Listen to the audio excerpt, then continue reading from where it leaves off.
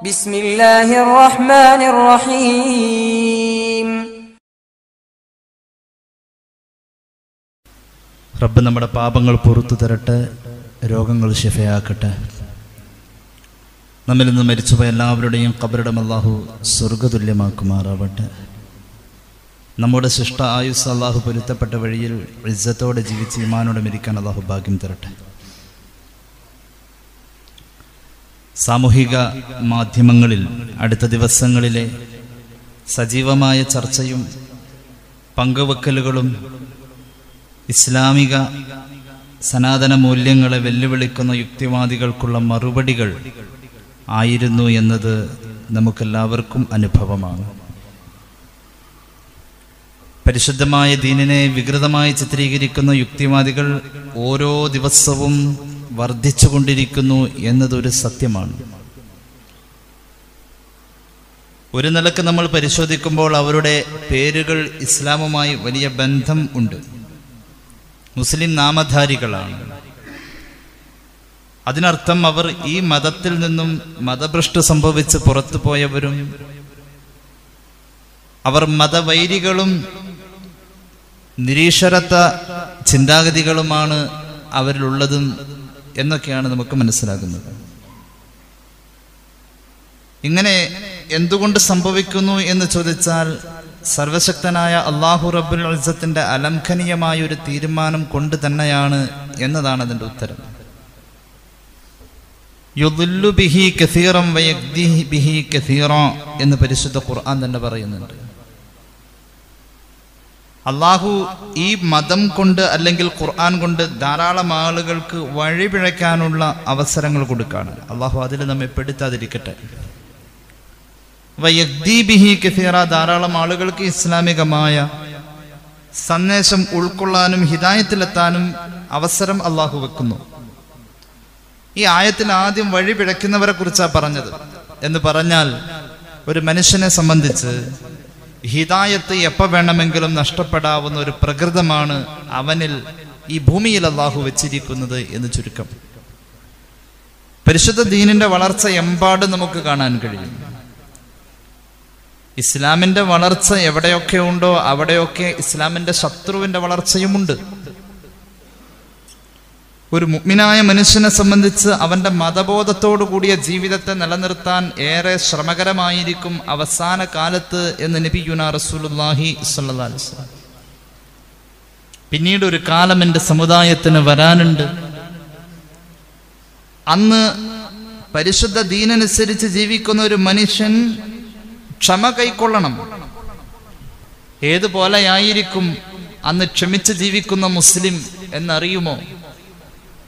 ഒരു വലിയ തീക്കട്ട കയ്യിൽ ചുരുട്ടിപ്പിടിച്ചാൽ അതിന്റെ അസഹ്യമായ പുകച്ചിലും പൊള്ളലിലും അത് പിടിച്ചു നിൽക്കുന്നവൻ എത്ര കണ്ട് പ്രയാസപ്പെടുന്നുവോ അതിനോട് തുല്യമായ അല്ലെങ്കിൽ അതുപോലത്തെ ഒരു പ്രയാസമായിരിക്കും അവസാന കാലഘട്ടത്തിൽ ഈ മതം കയ്യിൽ മുറുകെ പിടിക്കുന്നവന്റെ അവസ്ഥ എന്ന് മുഹമ്മദ് റസൂൽ സുനിശ്ചിതമായ ഇസ്ലാമിന്റെ വളർച്ചയുടെ കൂടെ സഞ്ചാരിയായി അതിന്റെ ശത്രുവും വന്നിട്ടുണ്ട് എന്നത് ചരിത്രം നമ്മെ ബോധ്യപ്പെടുത്തുന്ന കാര്യമാണ്. സയ്യിദന ആദം അലഹിസ്വലാത്തു വസ്സലാമിന്റെ വരവ് മുതൽക്ക് നമ്മൾ അവിടെ മുതലൊന്ന് ആലോചിച്ചാൽ തന്നെ മറുവശത്ത് അള്ളാഹു ഇബിലീസിനെ വെച്ചിട്ടുണ്ട്. അങ്ങനെ അങ്ങ് തുടങ്ങിയാൽ ഈ മതത്തിന്റെ തത്വങ്ങളെ വെല്ലുവിളിക്കുന്ന ധാരാളം യുക്തിവാദികളും മതനിഷേധികളും മറുവശത്ത് കാണപ്പെടുന്ന ചരിത്രം ഖുർആൻ എമ്പാടും പറയുന്നതും കാണാം. ഒരു ഉദാഹരണം പറയാം. സയ്യിദുന ഖലീലുല്ലാഹി നബി ഇബ്രാഹിം അലഹിസ്സലാം. മഹാനവറുകളുടെ ജീവിതം നോക്കണം. ജനിച്ചത് ഇറാഖിന്റെ ബാബിലോണിലാണ്. ആ നാട്ടിലെ ജനങ്ങളുടെ അവസ്ഥ വിഗ്രഹാരാധകരായിരുന്നു മുഴുവൻ. തന്റെ കുടുംബത്തിലെ പ്രധാന കാരണവർ പോലും വിഗ്രഹം ഉണ്ടാക്കി അത് വിൽക്കുന്ന ഒരു വലിയ പ്രധാനിയായ വ്യക്തിയും. ആ അവസ്ഥയിലൂടെ സയ്യുദന ഇബ്രാഹിം അലഹി സ്വലാത്തു വസ്സലാമിന്റെ ബാല്യവും കൗമാരവും എല്ലാം കടന്ന് യൗവനത്തിൽ നിൽക്കുമ്പോൾ ഇതൊന്നും ഉൾക്കൊള്ളാൻ കഴിയാത്തോടത്ത് ഒരു പ്രതികരണ ശേഷി വന്ന സയ്യുദന ഇബ്രാഹിം അലഹിസ്സലാം. ആ നാട്ടുകാരുടെ പ്രധാന ആഘോഷത്തിന്റെ ദിവസം ഖുർആനാണിത്. അവരുടെ ആരാധ്യ വസ്തുക്കളിലുള്ള അബദ്ധജടിലമായ അവരുടെ കണ്ടെത്തലുകൾ അത് ശരിയല്ലെന്ന് വരുത്തി തീർക്കാൻ വേണ്ടി മഹാനവറുകൾ അവരുടെ വിഗ്രഹങ്ങൾക്കിടയിൽ ഒരു പ്ര- പ്രശ്നമുണ്ടാക്കി. വിഗ്രഹങ്ങളെ തച്ചുടച്ച് ഇത് ചെയ്തത് ആ വലിയ വിഗ്രഹമാണ് എന്ന് പറഞ്ഞ് സ്ഥാപിക്കാൻ ശ്രമിക്കുമ്പോൾ ഖുർആൻ പറയുന്നുണ്ട് ഒരു നിമിഷമെങ്കിലും അവരുടെ ആലോചന സ്തംഭിച്ചു പോയിട്ടുണ്ട്. ഈ യുവാവ് പറയുന്നത് ശരിയാണെന്ന് അവർ സ്തംഭിച്ച് ആലോചിച്ച് നിശബ്ദരായി പോയിട്ടുണ്ട്. ആ ആലോചന വിപ്ലവത്തിലേക്ക് പോലും ഏക ദൈവ വിശ്വാസത്തിന് വിരുദ്ധമായി നിന്ന മനുഷ്യരെ കൊണ്ടുവരാൻ സീതന ഇബ്രാഹിം അലഹിസ്സലാം അന്ന് നടത്തിയ സംവാദം എന്ന് പറയാൻ പറ്റൂല. അതിലൊക്കെ വലിയ കാര്യമായി ചെയ്തത് ഈ സംഭവം നുപുവത്തിന്റെ മുമ്പാണെന്ന് പോലും മുഫസ്സിരീങ്ങൾ രേഖപ്പെടുത്തുന്നതായി കാണാം. അപ്പോൾ ഇസ്ലാമിക വിരുദ്ധമായ തത്വങ്ങളും രീതികളും നമ്മുടെ മുന്നിൽ നമുക്ക് പ്രതിബന്ധം തീർക്കുന്നോടത്ത് സരളമായി മതം സഞ്ചരിക്കുകയാണ്. അതിവിടെ എക്കാലത്തും നടക്കും. Will go on exercise through all ages a most potent influence എന്ന് ജർമ്മൻ ദാർശനികനായ ഗൈഥൈ ഈ മതത്തിന്റെ തത്വങ്ങളെ കുറിച്ച് രേഖപ്പെടുത്തിയതായി കാണാൻ കഴിയും. എല്ലാ കാലഘട്ടങ്ങളിലും പരമപ്രധാനമായ പ്രധാനമായ സ്വാധീനം ചെലുത്തിക്കൊണ്ട് പ്രക്രിയാധിഷ്ഠിതമായിട്ട് തന്നെ ഇസ്ലാം മുന്നോട്ട് പോകും അതിൽ തർക്കമില്ല. സീദന ഇബ്രാഹിം അലഹി സ്വലാത്തു വസ്സലാം ഈ സംഭവം ചെയ്തതിന്റെ തുടർച്ചയാണ് ലോക ചരിത്രത്തിൽ അതുപോലത്തെ ഒരു തീനാളം മനുഷ്യനാൽ ഉണ്ടാക്കിയിട്ടില്ല എന്ന് ഇബിന് കഥീർ പോലും രേഖപ്പെടുത്തുന്ന വിധം. വിറക് ശേഖരിച്ച വലിയ ഒരു തടാകത്തിന്റെ അകത്താണ് വിറക് കൊണ്ടുവന്നിട്ട് കത്തിച്ചത്. നാൽപ്പതോ അൻപതോ ദിവസം ആ തീക്കുണ്ടാരത്തിലിട്ട് ചുട്ടുനോക്കി. അള്ളാഹു കൊടുത്ത ഒരു മുഴുസത്ത് എന്നോണം മഹാനവറുകൾ അവിടെ നിന്നും സുരക്ഷിതമാവുകയാണ്. ഇബ്രാഹിം. ഇവിടെ ഒരു മുഴുസത്ത് ബോധ്യപ്പെടുന്നു. ഇതും പരിശുദ്ധ ദീനിന്റെ ദൈവത്തിന്റെ മാർഗത്തിലാണ്. മഹാനവറുകൾ ഈ സംഭവശേഷം ആ നാട് വിടുകയാണ്. وقال إني ذاهب إلى ربي سيهدين അവിടെ നിന്ന് നാട് വിട്ടു പിന്നെ പോകുന്നത് സീദന ഇബ്രാഹിം അലഹിസ്സലാം പിന്നെ ബാബിലോൺ വിട്ടുകൊണ്ട് പോകുന്നത് യൂഫ്രട്ടീസ് നദിയുടെ പശ്ചിമ ഭാഗത്തെ പട്ടണമായ ഊർ എന്ന് പറയുന്ന പട്ടണത്തിലേക്കാ അവിടെയും ദീൻ പറഞ്ഞു യുക്തിസഹജമായ സൈദ്ധാന്തിക മണ്ഡലങ്ങളിലൂടെ ആ മനുഷ്യരെ മുഴുവനും മഹാനവറുകൾ ചിന്തിപ്പിച്ചു. പിന്നെ അവിടെ നിന്ന് മഹാനവറുകൾ ബസ്രയിലേക്ക് പോയി പിന്നീട് കർബലയിലേക്ക് പോയി. യാത്ര തന്നെ. പിന്നീട് മഹാൻ പോയത് ടൈഗ്രീസ് നദിയുടെ തീരത്തേക്ക്. അവിടെ നിന്ന് പിന്നെയും സഞ്ചരിച്ചു ഹറാൻ എന്ന് പറയുന്ന നാട്ടിലേക്ക്. അവിടെ ചെന്നപ്പോൾ ആ നാട്ടുകാർ ഗോളങ്ങളെയും നക്ഷത്രങ്ങളെയും ആരാധിക്കുന്നവരാണ് അവർക്ക് മുന്നിൽ ഇതല്ല സത്യം എന്ന് പറയണം وكذلك نري إبراهيم ملكوت السماوات والأرض وليكون من الموقنين ഞാൻ നേരത്തെ പറഞ്ഞു ലോകത്ത് വന്ന അമ്പിയാക്കൾ അത്ഭുതം കാണിച്ചിട്ടുണ്ട് മുഴുജിസത്ത് എന്ന നിലയിൽ. എന്തിനു വേണ്ടിയാണത്? ദീനിന്റെ അനിവാര്യമായ നിലനിൽപ്പിന് അത്ഭുതങ്ങൾ കാണിക്കുക. അത് ദീനിന്റെ ദൈവത്തിന് വേണ്ടിയാണ്. അബുൽ ഫിദ ഇസ്മായിൽ ഇബ്നു കഥീറിന്റെ കസസിൽ കാണാം. നാൽപ്പതോ അൻപതോ ദിവസം സയ്യുദുന ഇബ്രാഹിം.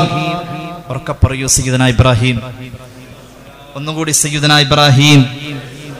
നമ്രൂദിന്റെ തീക്കുണ്ടാരത്തിൽ കഴിഞ്ഞു. കൂട്ടുകാരനായി കൂട്ടിരുന്നു സയ്യിദുന ജിബ്രീൽ അലൈഹിസ്സലാം.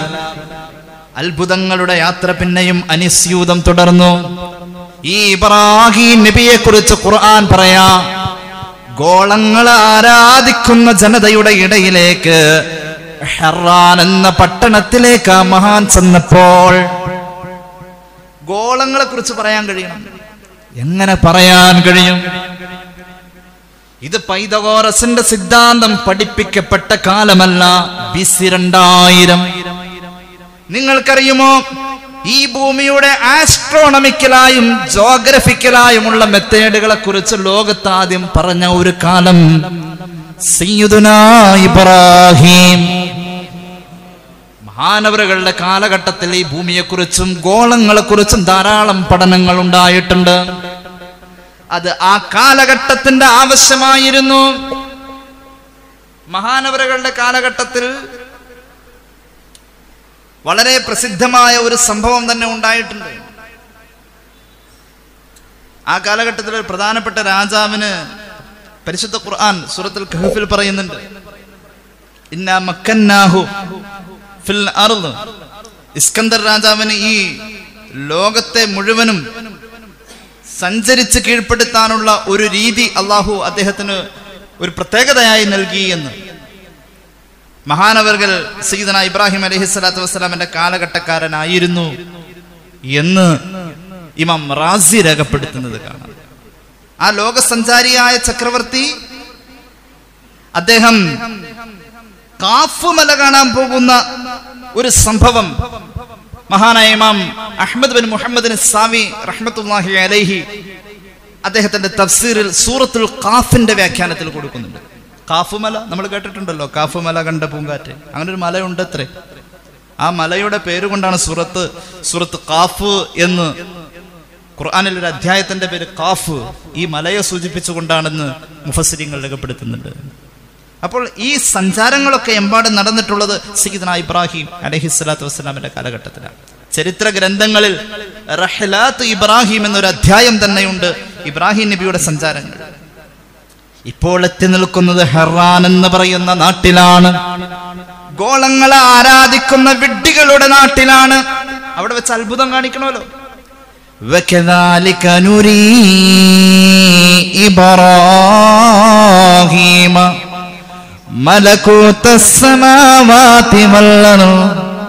മഹാനവറുകൾക്ക് ഈ ഭൂമിയിലിരുന്നിട്ടൊന്ന് മുകളിലേക്ക് നോക്കിയാൽ ആകാശത്തിന്റെ ഗോളങ്ങളുടെ രഹസ്യങ്ങൾ ഇവിടെ ഇരുന്നു കൊണ്ട് കണ്ണുകൊണ്ട് കാണാൻ കഴിയുമായിരുന്നു. ഒരു അത്ഭുതാണിത് അള്ളാഹുവിന്റെ ദീന് ദഴവത്ത് ചെയ്ത മഹത്തുക്കൾ ഈ അത്ഭുതങ്ങൾ കാണിച്ചത് ദഴവത്തിന് വേണ്ടിയായിരുന്നു. ഇരുന്നേ ഇരുപ്പീനേൽ ആകാശം കണ്ടോവർ. ഏറും മലക്കൂത്തിൽ രാജാളി എന്നോവർ. അമ്പിയാക്കൾ മുഴുജിസത്തിലൂടെ യുക്തിക്ക് മറുപടി കൊടുത്തിരുന്നു. ഔലിയാക്കൾ അവരുടെ കറാമത്തിലൂടെ. ദീനിന്റെ ദൈവത്തിൽ ഇങ്ങനെ നടന്നുകൊണ്ടിരിക്കുകയാണ്. സീദന ഇബ്രാഹിം فلما جن عليه الليل رأى كوكبا قال هذا ربي فلما أفل قال لا أحب الآفلين നക്ഷത്രങ്ങളുടെ തിളക്കം മങ്ങിയപ്പോൾ നക്ഷത്രം തിളങ്ങി നിന്നപ്പോൾ ഇതെന്റെ റബ്ബായിരിക്കുമെന്നവരോട് സാങ്കല്പികമായി പറഞ്ഞു. അവരൊന്ന് ചിന്തിക്കാൻ. നക്ഷത്രത്തിന്റെ തിളക്കം അങ്ങ് ആകാശത്തിൽ മങ്ങിപ്പോയപ്പോൾ മങ്ങിപ്പോകുന്ന അസ്തമിച്ചു പോകുന്ന വസ്തുവിനെ ഞാൻ എങ്ങനെ ആരാധിക്കും? ഞാൻ ഇതിൽ നിന്നും ഒഴിവാണെന്ന് സിയുതുനായി ഇബ്രാഹിം അപ്പോൾ കുറച്ചാളുകൾ കൂടെ കൂടി ശരിയാണല്ലോ. പിന്നീടാണ് ചന്ദ്രന്റെ ഉദയം കണ്ടത്. ആകാശത്തിന്റെ നീലിമയിലെ മനോഹാരിതയിൽ ചന്ദ്രൻ ഇങ്ങനെ കുളിച്ചു നിൽക്കുമ്പോൾ ചന്ദ്രോദയത്തിലും ഇതായിരിക്കും നമ്മുടെ റബ്ബെന്ന് മഹാനവരകൾ സാങ്കല്പികമായി പറഞ്ഞു. അപ്പോൾ ചന്ദ്രൻ ആരാധിച്ചു കൊണ്ടിരുന്നവർ പറഞ്ഞു ശരിയാണ്. ചന്ദ്രാസ്തമയത്തിന്റെ നേരത്തും മഹാനവരുകൾ പറഞ്ഞു അസ്തമിക്കുന്നവൻ റബ്ബല്ല. കുല്ലുമൻ അലൈഹാ ഫാൻ. ويبقى وجه ربك ذو الجلال والإكرام അസ്തമയമോ അവസാനമോ ഇല്ലാത്തവനാണ് അല്ലാ അസ്തമിക്കുന്ന ചന്ദ്രനെയും അല്ലയായി കാണാൻ എനിക്ക് പറ്റൂല ഞാൻ ഒഴിവാണ് അപ്പോൾ ചന്ദ്രൻ ആരാധിച്ച കുറെ ആളുകൾ അവിടെ നിന്നും ആ ചിന്തയിൽ നിന്നും മഹാനവരുകളുടെ കൂടെ കൂടി ഇലാഹി ചിന്തയിലേക്ക് വന്നു പിന്നീടാണ് വലിയ ദൈവത്തെ പ്രതിഷ്ഠിച്ചുകൊണ്ടിരിക്കുന്ന സൂര്യസങ്കല്പത്തിലേക്ക് ചിന്തിച്ചവരുടെ ഇടയിലേക്ക് ചെന്നു. ആ ഗോത്രക്കാരോടും പറഞ്ഞു സൂര്യനായിരിക്കുമല്ലോ ദൈവം. ആണ്. എന്നാൽ ഞാനും കൂടാം. അസ്തമയാകില സൂര്യന്റെ അരുണകിരണങ്ങൾ ചക്രവാളത്തിൽ അങ്ങ് മറഞ്ഞു പോകുമ്പോൾ അസ്തമയമുള്ള സൂര്യനോട് ഞാൻ യാത്ര പറയുന്നു ഇത് ഇലാഹാവാൻ യോഗ്യതയല്ല. ഫലം أفلت قال يا قوم إني بريء مما تشركون ഇത് ഷിർക്കാണ് ഇതിനോട് ഞാൻ രാജിയാകുന്നു ഞാനൊന്ന് പറയട്ടെ നിങ്ങളുടെ അബദ്ധ ചിന്തകളെ പൊളിച്ചടക്കിയ ഈ വാഗ്വാദത്തിൽ ഈ ചിന്താ വിപ്ലവത്തിൽ നിങ്ങളോട് എനിക്ക് പറയാനുള്ളത് യുക്തിഭദ്രമായ ഒരു സിദ്ധാന്തത്തെ കുറിച്ചാണ് അതേതെന്നറിയുമോ إني وجهت وجهي للذي فطر السماوات والأرض حنيفا وما أنا من المشركين ആകാശങ്ങളെയും ഭൂമിയെയും പടച്ച ഏകനായ അള്ളാഹുവിലേക്കാ ഞാൻ ഇനി നിങ്ങളെ ക്ഷണിക്കുന്നത്. ഇബ്രാഹിം. ഇബ്രാഹിം. ആ സഞ്ചാരം തൗഹീദിന് വേണ്ടിയുള്ള യാത്രയായിരുന്നു. ആ കാൽപാദത്തെ അള്ളാദരിച്ചു ചവിട്ടി നിന്ന പാറ പോലും മലിഞ്ഞു പോയി. ആ സഞ്ചാരം ലാ ഇലാഹ ഇല്ലയുടെ സംസ്ഥാപനത്തിന് വേണ്ടിയായിരുന്നു. ആ പാറ പോലും സ്വർഗത്തിൽ നിന്നും സയ്യിദുനാ ജിബ്രീൽ അലൈഹിസ്സലാം കൊണ്ടുവന്ന പാറ പരിശുദ്ധ കഅബയുടെ മുന്നിൽ ഇപ്പോഴും കാണാം ആ പാറ. മഹാനവറുകളുടെ കാൽ പതിഞ്ഞ പാറ മഖാമി ഇബ്രാഹീമ മുസല്ലാ. മഖാമ ഇബ്രാഹിം എന്നറിയപ്പെടുന്ന ആ പാറ. ഒന്ന് കാണൽ സുന്നത്ത തൊട്ടുമുത്തലല്ല കണ്ടാൽ മതി.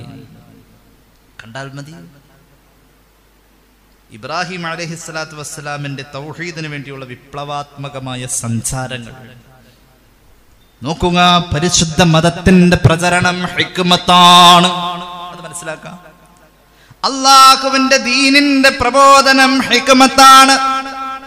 ادع إلى سبيل ربك بالحكمة والموعظة الحسنة وجادلهم بالتي هي أحسن إن ربك هو أعلم بمن ضل عن سبيله وهو أعلم بالمقتدين നല്ല ഉപദേശം അതുപോലെ തന്നെ ഹിക്മത്ത്. ഇതാണ് ദീനിന്റെ ദൈവത്തിന്റെ അതിപ്രധാനപ്പെട്ട രണ്ട് ഘടകം. നല്ല ഉപദേശം. ഉപദേശം നന്നാവണമെങ്കിൽ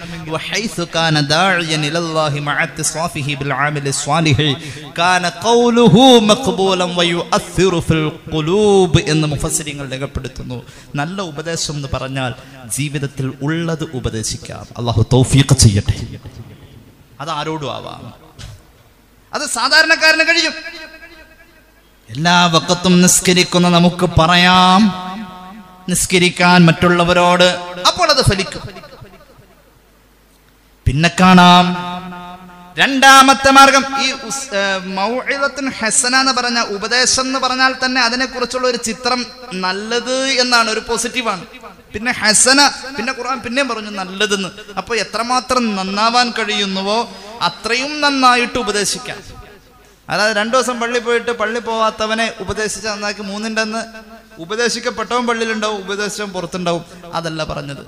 എത്രമാത്രം നന്നാവാൻ കഴിയുന്നു അത്രയും ജീവിതത്തിൽ നന്നായിട്ട് മറ്റുള്ളവർ ഉപദേശിക്കുന്നോടത്തെ ഉപദേശമാണ് ഈ പറഞ്ഞ മൗഴില ഇനി ഹിക്കുമത്തോ അത് നമ്മുടെ കയ്യിലുണ്ടെങ്കിൽ നമുക്കാവാം. അത് ഇല്ലെങ്കിൽ അത് ഉള്ള ഒരു വിഭാഗം ഇവിടെ ഉണ്ട്. അവരാണ് ഈ ദീനിങ്ങനെ കൊണ്ടുപോകുന്നത്. പെരുത്തു നൂറ്റാണ്ടുകൾക്കിടയ്ക്കലൊരിക്കലീ മരുപ്പറമ്പാമുലകത്തിലീശ്വരൻ നടുന്നു വൃക്ഷത്തെ തണിക്കു പാന്തരായി വരുന്നവർക്കുത്തമ വിശ്രമത്തിനായി. വെള്ളത്തോളിന്റെ വാക്കുകളാണ് ഈസ അലഹി സ്വലാത്തു വസ്സലാമിന്റെ കാലം മുതൽക്ക് ഇന്ന് ഈ നിമിഷം വരെയുള്ള ഈ പെരുത്തു നൂറ്റാണ്ടുകൾക്കിടയ്ക്കൽ ഒരിക്കലി മരുപ്പറമ്പാം ഉലകത്തിൽ ഈശ്വരനായ അള്ളാഹു നടുന്നു വൃക്ഷത്തെ തണിക്ക് പാന്തനായി ഒരു വലിയ വൃക്ഷത്തെ നട്ടിട്ടുണ്ട് മുഹമ്മദ് മുസ്തഫ. ഉറക്കെ മുഹമ്മദ് മുസ്തഫ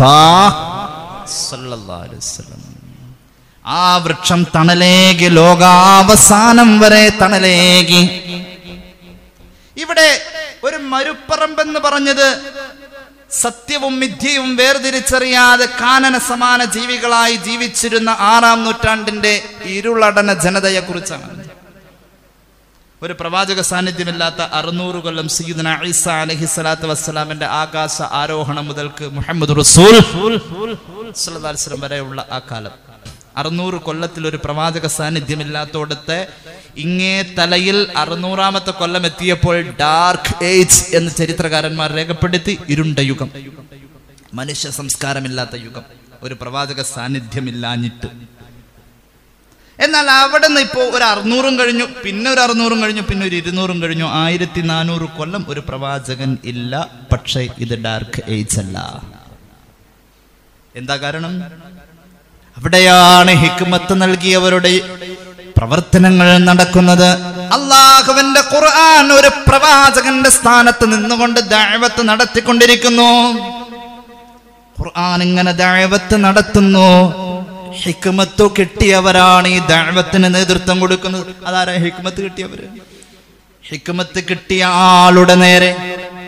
ഹിക്മത്ത് കിട്ടിയ ആളുടെ നേരെ. ഒരു അവിശ്വാസി ചെന്നാൽ ആ ഹിക്മത്ത് കിട്ടിയവന്റെ ഒരു നോട്ടം മതിയാവും.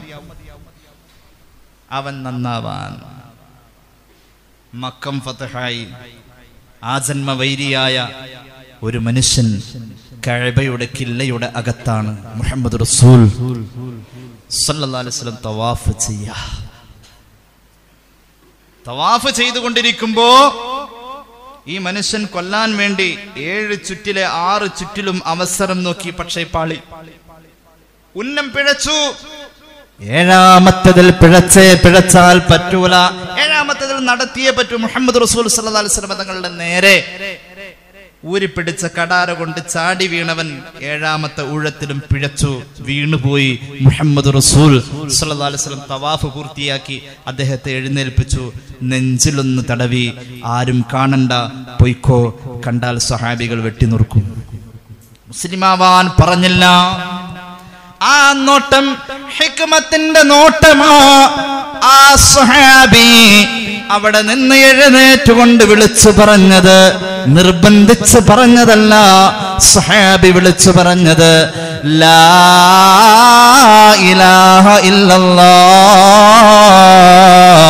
മുഹമ്മദുർ റസൂലുള്ളാഹ് ഓടുകയാണ് ജീവിതത്തിൽ ഇതുപോലത്തെ ഒരു ആനന്ദം കിട്ടിയിട്ടില്ല.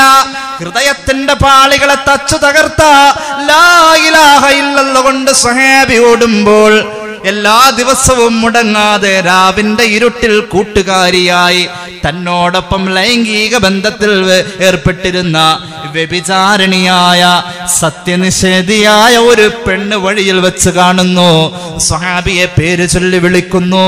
നീ എന്തിനാണടാ ഓടുന്നതെന്ന് ചോദിച്ചപ്പോൾ ആ സ്വഹാബിയ വ്യഭിചാരിണിയായ മതനിഷേധിയായ പെണ്ണിന്റെ നേരെ നോക്കിയിട്ട് ലാ ഇലാഹ ഇല്ലയുടെ മഹത്വത്തെ വിളിച്ചു പറഞ്ഞോടുന്നു. ആ പെണ്ണത് ഓട്ടത്തിന്റെ ഇടയിലൂടെ പതുക്കെ കേൾക്കുന്നു. അവളും വിളിച്ചു പറയേണ്ടി വന്നു. ലാ ഇലാഹ അതാണ് ഹിക്മത്ത്. ആ ഹിക്മത്ത് കിട്ടിയവരൊന്ന് നോക്കിയാൽ മതി. അവരാണ് ലോകത്തെ എക്കാലത്തും യുക്തിക്ക് മറുപടി കൊടുത്തത്. അത് വേദി കെട്ടിയിട്ടുണ്ടായിട്ടുണ്ട്. അല്ലാതെയും ഉണ്ടായിട്ടുണ്ട് സ്വാതന്ത്ര്യ സമര സേനിയാൻ സേനാനിയായ ഞാൻ പലപ്പോഴും പറയാറുണ്ട് ഒരു മഹാൻ ബ്രിട്ടീഷുകാരന്റെ ജയിലിൽ വെച്ച് ഭക്ഷണം കഴിക്കുന്നത് കണ്ടപ്പോൾ പറാവുകാരൻ കിലുമ ചൊല്ലി. എല്ലാവർക്കും ഹിക്മത്ത് ഇല്ല എന്നാണ് ഖുർആൻ പറഞ്ഞത്. എല്ലാവർക്കും ഹിക്മത്തില്ല. ഇന്ത്യ മഹാരാജ്യത്ത് പരിശുദ്ധമായ ദീൻ ദാഴ്വത്ത് ചെയ്തതിൽ ചരിത്രം പറയുന്നു ഏറ്റവും വലിയ ഒരു ദാഴി മഹാനായ തങ്ങളാണ് തൊണ്ണൂറ് ലക്ഷത്തോളം വരുന്ന ആളുകൾക്ക് പരിശുദ്ധ ദീൻ എത്തിച്ചു കൊടുത്ത ഒരു മഹാൻ. ഇത് ചരിത്രമാണ്. ധാരാളം സഹാബികൾ ദീൻ പ്രബോധനം ചെയ്ത മണ്ണാണിത്. മഹാനായ അൻഹുവിനെ പോലെ മഹാനായ തമീമുൽ അൻസാരി റളിയല്ലാഹു പോലെ ധാരാളം സഹാബികൾ ദഅവത്ത് ചെയ്ത് ഇപ്പോഴും അവരുടെ കബറിടങ്ങൾ ഈ മണ്ണിലുണ്ട് മലയാള നാട്ടിലുണ്ട്. കോഴിക്കോട് മുഗ്ദാർ എന്ന് പറയുന്ന സ്ഥലം പോലും മുഗൈറയുടെ ദാറുണ്ടായിരുന്ന സ്ഥലം എന്ന് വിശേഷിപ്പിക്കപ്പെടുന്ന ചരിത്രമാണ് നമ്മുടെ മുന്നിലുള്ളത്. അത്രത്തോളം ഹിക്മത്ത് നൽകപ്പെട്ട മഹത്വക്കൾ ദഅവത്ത് ചെയ്ത പാരമ്പര്യമാണ് നമ്മുടെ മണ്ണിലുള്ളത്. എല്ലാവർക്കും ഹിക്മത്തുണ്ടോ? ഹിക്മത്തിനെ കുറിച്ച് ഖുർആൻ പറഞ്ഞത് എത്രയാ പറയുന്നത്? ബിസ്മില്ലാഹിർ റഹ്മാനിർ റഹീം.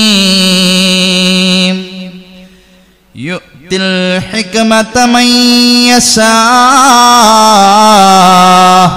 ومن يؤت الحكمة فقد أوتي خيرا كثيرا അള്ളാഹു ഉദ്ദേശിക്കുന്നവർക്ക് ഹിക്മത്ത് റബ്ബ് നൽകും അള്ളാഹു ഹിക്മത്ത് നൽകിയവരുണ്ടല്ലോ വലിയ ഖൈർ ലഭിച്ചവരാണെന്ന് ഖുർആൻ ربنا وابعث فيهم رسولا منهم يتلو عليهم آياتك ويعلمهم الكتاب والحكمة سيدنا إبراهيم അലഹിസലാം അള്ളാഹുവിന്റെ ഹബീബിന്റെ നിയോഗത്തിന് മുന്നേ രണ്ടായിരത്തി അറുന്നൂറ് കൊല്ലം മുന്നേ ദുആ ചെയ്ത വഴി വരികളാണ് ഖുർആൻ ഉദ്ധരിക്കുന്നത് ഇസ്ലാമികമായ ദൈവത്തിന്റെ വഴിത്താറയിൽ ഇബ്രാഹിം നബി അലഹിസ്സലാം അന്ത്യപ്രവാചകന് വേണ്ടി ദ്വാ ചെയ്തിരുന്നു. അവിടെ ആ നബിയെ വിശേഷിപ്പിക്കപ്പെട്ടത് ഹിക്കുമത്തുള്ള നബി എന്നാണ്. അള്ളാഹു ഉദ്ദേശിച്ചവർക്കാണ് അവൻ ഹിക്കുമത്ത് നൽകാം. നുപുവത്താണ് ഹിക്കുമത്ത് എന്ന് പറയുന്ന മഹാന്മാരുണ്ട്. അതല്ല നുപുവത്തിന്റെ തുടർച്ച. അള്ളാഹുവിന് ഭയമുള്ള ഇൽമ എന്നതാണ് ഹിക്കുമത്തിന്റെ വിവക്ഷ എന്ന് പറയുന്നവരുമുണ്ട്. അപ്പൊ അള്ളാഹുവിന്റെ അമ്പിയാക്കളിലൂടെയും ഔലിയാക്കളിലൂടെയും ഹിക്മത്ത് അള്ളാഹു ഈ ലോകത്ത് നടപ്പാക്കിക്കൊണ്ടിരിക്കുക ഹിക്മത്ത് മുഖേന ധാരാളം ആളുകൾ ഇസ്ലാമിൽ വരുന്നു. ഹിക്മത്തിന് തന്ത്രം എന്ന് മാത്രം അർത്ഥം പരിമിതമല്ല. തന്ത്രവും ഒരു നിലയ്ക്ക് ദൈവത്താണ്. ഉദാഹരണം പറഞ്ഞാൽ മക്കം ഫത്തഹിന്റെ മുന്നയായി മുഹമ്മദ് റസൂൽ സല്ലല്ലാഹു അലൈഹി വസല്ലം ഹുദൈബിയ സന്ധിയിൽ ഒപ്പുവെക്കുകയാണ്. ആ സന്ധിയുടെ ധാരാളം കാര്യങ്ങളുടെ കൂട്ടത്തിൽ അതിപ്രധാനപ്പെട്ട രണ്ട് കാര്യങ്ങളാണ്. ഒരിക്കലും കൂടെ നിന്ന സ്വഹാബികൾക്ക് ഉൾക്കൊള്ളാൻ കഴിയാത്ത രണ്ട് കാര്യങ്ങൾ. ഒന്നാമത്തേത് ആ രണ്ട് കാര്യങ്ങളിൽ ഒന്നാമത്തേത് നിലവിൽ മക്കയിൽ നിന്നും കുറേശികളുടെ പക്ഷത്തു നിന്നും ആരെങ്കിലും മദീനയിലേക്ക് താല്പര്യപൂർവം എത്തിക്കഴിഞ്ഞാൽ അയാളെ സ്വീകരിക്കാൻ പാടില്ല തിരിച്ചയക്കണം. അവിടെ എത്തിയാൽ തിരിച്ചയക്കണം. അതാണ് ഒന്നാമത്തേത്. മുഹമ്മദ് റസൂൽ സല്ലല്ലാഹു അലൈഹി സമ്മതിച്ചു അയച്ചേക്കാം. രണ്ടാമത് പറഞ്ഞത് അവിടെ നിന്ന് ആരെങ്കിലും ഇവിടെ എത്തി അവനെ തിരിച്ചു വിടൂല. അവനെ വിടൂല എന്നതാണ് രണ്ടാമത് പറഞ്ഞത്. ഇത് രണ്ടും അംഗീകരിച്ചു. സഹാബികൾ അത് അംഗീകരിക്കാൻ പ്രയാസപ്പെട്ടു. മുഖത്തോട് മുഖം നോക്കി. ഇതിന്റെ ഇടയിലും അള്ളാഹു കൊടുത്ത പഞ്ചേന്ദ്രിയങ്ങൾക്ക് അപ്പുറത്തുള്ള ഒരു അറിവ് കൊണ്ട് മുഹമ്മദ് റസൂൽ സല്ലല്ലാഹു അലൈഹി വസല്ലം കണ്ടെത്തിയ തന്ത്രം എന്തായിരുന്നു അള്ളാഹുവിന്റെ ഹബീബിനെ കണ്ടുവരുന്ന അബൂബക്കർ സിദ്ദീഖ് തങ്ങളെ കണ്ടുവരുന്ന മദീന കണ്ടുവരുന്ന ആ സ്വഹാബി തിരിച്ച് മക്കയിലേക്ക് അവിടെ നിന്ന് പറഞ്ഞയച്ച് ഇവിടെ എത്തിക്കഴിഞ്ഞാൽ അവിടെ നിന്ന് സ്വീകരിക്കുന്ന ഹിതായത്തിന്റെ വെളിച്ചം കൊണ്ട് പതിനായിരങ്ങൾക്ക് ഇവിടെ കൊടുക്കാൻ കഴിയും. അവിടെ പോയി വന്നവൻ ഇവിടുന്ന് പോകുന്ന അവസ്ഥയില തിരിച്ചു വരുമ്പോ അവനിൽ എന്തൊക്കെയോ ഹിതായത്തുണ്ട് ആ ഒരാൾ മതി ഇവിടെ പതിനായിരങ്ങൾക്ക് അതെത്താൻ. അങ്ങനെയെങ്കിൽ അവിടെ നബിയോട് കൂടെ താമസിച്ചാൽ ഇവിടെ വന്നാൽ തിരിച്ചയക്കൂല എന്ന് പറഞ്ഞാൽ അതിനർത്ഥം. അവിടെ കൂടെ കുറെ കാലം താമസിച്ചവൻ ഒരു വട്ടം കണ്ടുവന്നവൻ അത്ഭുതം കാണിക്കുമെങ്കിൽ കുറെ കാലം താമസിച്ച സ്വഹാബി ഇവിടെ വന്നു കഴിഞ്ഞാൽ വരും വർഷം മക്കം ഫത്തഹാട് ആയിരങ്ങൾ പതിനായിരങ്ങൾ പരിശുദ്ധമായ ദീനിന്റെ വെളിച്ചത്തിലേക്ക് ചേക്കേറുമെന്നാണ്. ഇതും ഒരു ഹിക്മത്താണ്.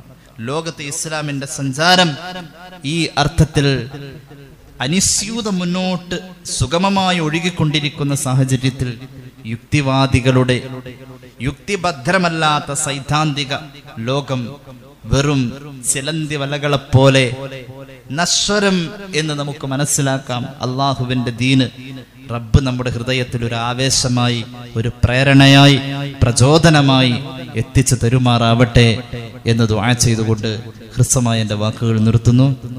സല്ലല്ലാഹു അലാ മുഹമ്മദ് സല്ലല്ലാഹു അലൈഹി വസല്ലം സല്ലല്ലാഹു അലാ മുഹമ്മദ് സല്ലല്ലാഹു അലൈഹി വസല്ലമ അല്ലാഹുമ്മ സല്ലി അലാ മുഹമ്മദ് യാ റബ്ബി സല്ലി അലൈഹി വസല്ലം الحمد لله الحمد لله رب العالمين اللهم صل على سيدنا محمد وعلى آل سيدنا ومولانا محمد അള്ളാഹുവേ ഞങ്ങളെ സ്വീകരിക്കണേ തമ്പുരാനെ റബ്ബേ ഞങ്ങളുടെ പാപങ്ങൾ പൊറുക്കണേ അല്ലാ രോഗങ്ങൾ ശിഫയാക്കണേ അല്ലാ അള്ളാഹുവേ റബ്ബേ ഞങ്ങളുടെ കൂട്ടത്തിൽ കുടുംബത്തിൽ ദ്വാ കൊണ്ട് വസീയത്ത് ചെയ്ത ബന്ധത്തിൽ കോവിഡിന്റെ പ്രതിസന്ധിയിൽ കഴിയുന്നവരുണ്ട് അല്ലാ. ശിഫ നൽകണേ അല്ലാ. വിദേശങ്ങളിൽ ഞങ്ങളുടെ കൂട്ടത്തിലെ പലർക്കും കോവിഡ് ഉണ്ട് തമ്പുരാനെ. അള്ളാഹു റബ്ബേ പലർക്കും ആശ്വാസമുണ്ട് തമ്പുരാനെ. പൂർണമായ ശിഫ കൊടുത്ത് അനുഗ്രഹിക്കണേ അല്ലാ. പ്രത്യേകിച്ച് ഒരു സഹോദരന് വേണ്ടി പ്രത്യേകം ദുആ ചെയ്യാൻ ഏൽപ്പിച്ചിട്ടുണ്ട്. അള്ളാഹുവേ വെള്ളിയാഴ്ച പകലാണ് ദുആക്ക് ഈജാപത്തുള്ള നേരമാണ്. ആ സഹോദരന് പൂർണമായ ശിഫ നൽകണേ അല്ലാ. അള്ളാഹുവേ നീ ശിഫ നൽകണേ അല്ലാ. സൗദി അറേബ്യയിലെ റിയാദിൽ ഇന്നലെ ഞങ്ങളുടെ ഒരു സഹോദരൻ കോവിഡ് ബാധിച്ച് മരിച്ചതാണ്. റബ്ബേ മയ്യത്ത് അവിടെ മറവ് ചെയ്യും. അള്ളാഹുവേ ആ സഹോദരന് നീ ഷഹീദിന്റെ പദവി നൽകണേ അല്ലാ. പ്രവാസ ലോകത്ത് വെച്ച് ഒന്നും സമ്പാദിക്കാൻ കഴിയാത്ത ഒരു പാപമാണ് അല്ലാ. അള്ളാഹുവെ ആ സഹോദരന് നീ ഷഹീദിന്റെ പദവി നൽകണേ അല്ലാ. ഒരുപാട് സഹോദരങ്ങൾ റബ്ബേ അടുത്ത ദിവസങ്ങളിലായി ഞങ്ങളോട് യാത്ര പറഞ്ഞിട്ടുണ്ട് അല്ലാ. അള്ളാഹുവെ മരിച്ചുപോയ അവരുടെയൊക്കെ കബർ നീ സ്വർഗതുല്യമാക്കണേ അല്ലാ. തെറ്റുകുറ്റങ്ങൾ മാപ്പാക്കണേ അല്ലാ. അള്ളാഹുവേ രോഗികൾക്കും വിധവകൾക്കും വേണ്ടി ഇന്നു മുതൽ ഞങ്ങൾ തയ്യാറാകുന്ന അവരുടെ നിർത്തിവെച്ച ഫണ്ടിലേക്ക് ഇന്നു മുതൽ സഹകരിക്കാൻ സുമനസ്സുകളായ സഹോദരങ്ങൾ തയ്യാറാവുന്നു. അല്ലാ അവരുടെ സമ്പത്തിൽ ബർക്കത്ത് കൊടുക്കണയല്ല ഹൈറ് പകരം കൊടുക്കണയല്ല അള്ളാഹുവെ അതുപോലെ രോഗം കൊണ്ടോ പ്രയാസം കൊണ്ടോ ഒരു അവസ്ഥ ഭാവിയിൽ വരാതെ സ്വതക്കയുടെ ബറക്കത്ത് കൊണ്ട് കാവൽ നൽകണേ അല്ലാ തമ്പുരാനെ ഞങ്ങളുടെ മക്കളുടെ പരീക്ഷകളൊക്കെ നീ എളുപ്പമാക്കണേ അല്ലാ അല്ലാ ഞങ്ങൾ ഈമാൻ കുറഞ്ഞവരാണ് അല്ലാ. നിനക്ക് പൊരുത്തമില്ലാത്ത നേരത്തെ അവിചാരിത മരണത്തിൽ ഞങ്ങൾ എത്തല്ലേ അല്ലാ. ആഫിയത്തോടുകൂടിയ ദീർഘായുസ് നൽകണേ അല്ലാ. കോവിഡിന്റെ പ്രതിസന്ധിയിൽ തമ്പുരാനെ സാമ്പത്തിക മേഖലകൾ തകർന്നുകൊണ്ടിരിക്കുന്നു അല്ലാ ഞങ്ങളുടെ സഹോദരന്മാരുടെ കച്ചവടങ്ങളും ബിസിനസ്സുകളും പ്രയാസത്തിലാണ്. റബ്ബേ നിലവിൽ ഉണ്ടായിരുന്ന ജോലിയിൽ പ്രയാസം അനുഭവിക്കുന്നവരും വരുമാനം കുറഞ്ഞവരുമുണ്ട്. അള്ളാഹുവേ പതിനെട്ട് വർഷക്കാലം അയ്യൂബ് നബിക്ക് നീ രോഗം കൊടുത്തപ്പോൾ ആ പതിനെട്ട് കൊല്ലത്തിൽ അദ്ദേഹത്തിന് നഷ്ടപ്പെട്ട സൗഭാഗ്യങ്ങളെയൊക്കെ നീ തിരിച്ചു കൊടുത്തല്ല തമ്പുരാനെ. മരണപ്പെട്ട മക്കളെ പോലും നീ രണ്ടാമത് കൊടുത്തല്ലോ അല്ലാ തകർന്നു പോയ ഭവനത്തെ പോലും നീ നിന്റെ മലക്കുകളെ കൊണ്ട് നിർമ്മിച്ചു കൊടുത്തല്ലോ അല്ല. എല്ലാം നിന്നെ കൊണ്ടേ കഴിയൂ തമ്പുരാനെ. ഞങ്ങളുടെ നഷ്ടങ്ങൾ നിന്റെ മുന്നിൽ എണ്ണിപ്പറയല്ല തമ്പുരാനെ. കടമുള്ളവന്റെ കടങ്ങൾ പിന്നെയും കുമിഞ്ഞു കൂടുന്നു അല്ലാ. റബ്ബേ ഇത് അനന്തമായി പോകുന്നു അല്ല. ഈ പ്രതിസന്ധിയുടെ ലോകത്ത് നീയല്ലാതെ ആരും പിടിച്ചു കെട്ടാനില്ല അല്ല. നീ ഞങ്ങളോട് കരുണ ചെയ്യല്ല നീ ഞങ്ങളോട് കരുണ ചെയ്യണേ അല്ല. അള്ളാഹുവെ ഞങ്ങളുടെ പല മക്കളും വിദേശത്തേക്ക് പുതിയ ജോലി തേടിപ്പോയവരുണ്ട് അല്ല. പലരും ജോലിക്ക് വേണ്ടി ശ്രമിക്കുന്നു അല്ല. ഇനിയുള്ള കാലത്ത് ഒരു നല്ല ജോലി സ്വപ്നമാണ് അല്ല. ഹജ്ജ് സ്വപ്നമാണ് അല്ല. ഉംറ സ്വപ്നമാണ് അല്ല. ഞങ്ങൾ പാവങ്ങളാണ് അല്ല. കഴിവെല്ലാം നിനക്കാണ് അല്ല. ശക്തി മുഴുവൻ നിന്റെതാണ് അല്ല.